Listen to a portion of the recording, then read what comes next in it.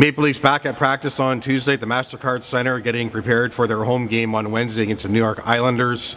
Nikita Zaitsev looking good to go. He was paired with Travis Dermott today. Uh, Coach Mike Babcock saying, though, not to read too much into that, reminding us that Morgan Rielly will be back here uh, at some point. Rielly skating on his own before practice today, not taking the full workout with his teammates. The uh, Dermott Zaitsev uh, could get a look tomorrow night. Uh, Zaitsev will be uh, a decision after the morning skate, but Nikita telling us that he feels good to go after not having played since mid-December with a broken foot. Uh, other words, uh, otherwise, sorry, Matt Auston Matthews back at practice after the All-Star break. It's fun. You get to you know be around the best players in the league.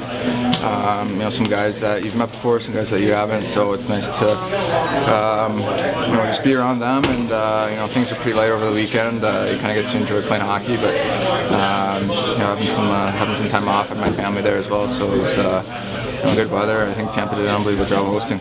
Babcock sticking with that Marleau, Kadri, Marner unit as the second line. We'll see how it goes going forward.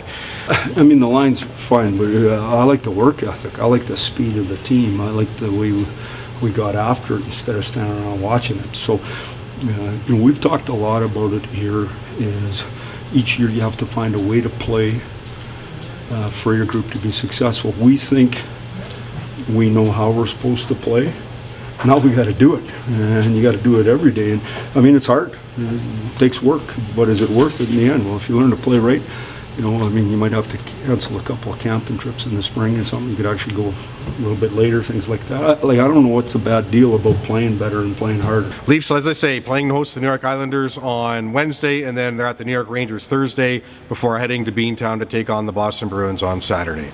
Reporting from the MasterCard Center for Post Media, I'm Terry Koshan.